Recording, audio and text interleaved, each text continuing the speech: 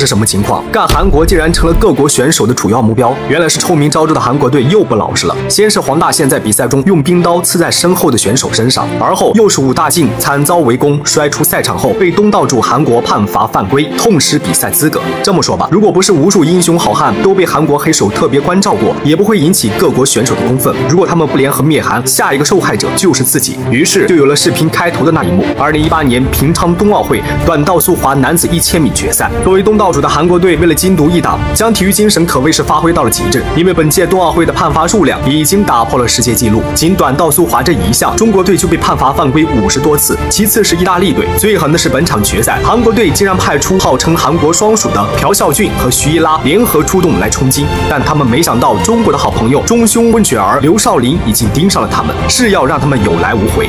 比赛开始。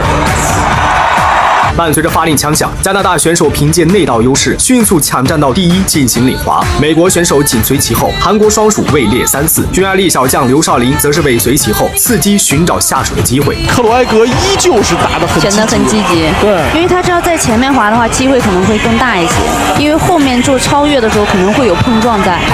看一下韩国队这边动起来了，徐一拉上来。当赛程仅剩三圈时，位列第一、第二的加美选手眼见韩国双鼠要超越，迅速打起了配合。哦，克罗埃格真是不给线路啊！内道收的时候直接顶在外面，然后一出来直接收回来，而且吉拉德带速度，克罗埃德封线路。路线，北美洲的选手配合在一起了。转眼比赛仅剩两圈时，韩国双鼠依然找不到任何反超的机会，两人合计着要不使阴招吧，结果还没合计好，就发生了出人意料的一幕。哇，这样的话，吉拉德身后手。